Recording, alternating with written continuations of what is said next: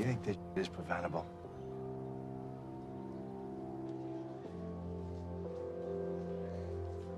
That's all I saw today.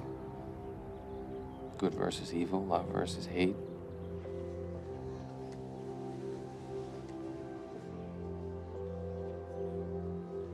The devil hit you like that. There's only one weapon you have to fight back with. It's love.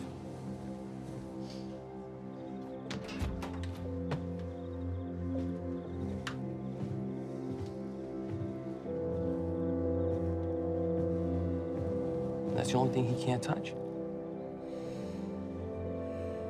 What are we gonna do? We hunt him down, catch him, kill him, all that. They're still gonna get us. No way it can ever be entirely preventable.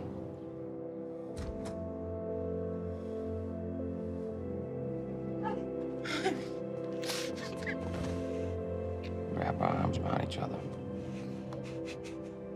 Let love powers feed us. I don't think there's any way they could ever win.